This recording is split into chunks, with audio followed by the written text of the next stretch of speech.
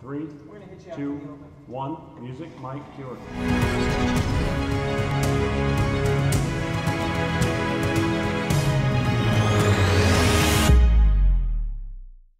Dolby Encoding.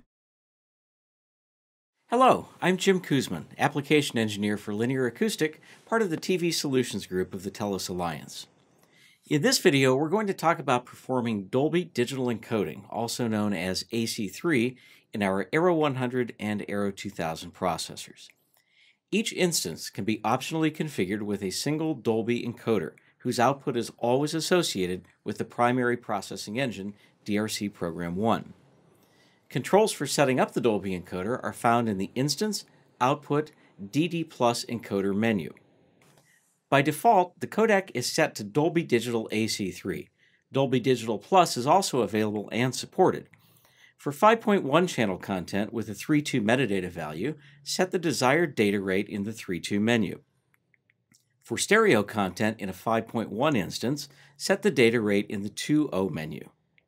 In this case, it is also necessary to mute inputs 3 through 6, which will in turn force the metadata to 2.0 for stereo input sources. If the Aero is set to upmix, the metadata will switch back to 3.2. The Dolby encoder is always active, so there's no control to enable it. The AC3 output can be routed to any AES outputs or any embedded SDI output pairs in the output menu. Aero 100 and Aero 2000 have a built-in Dolby Confidence decoder, which can be viewed by selecting the DD Plus Confidence Decode option in the Display Settings menu.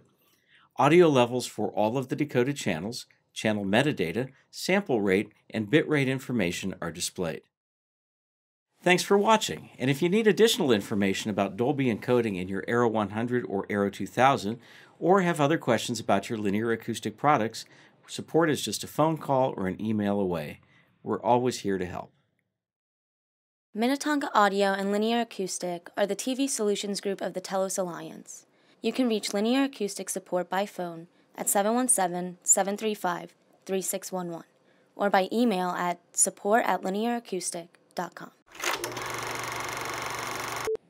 By default, the codec is set to dil- by default, the codec the Kodak.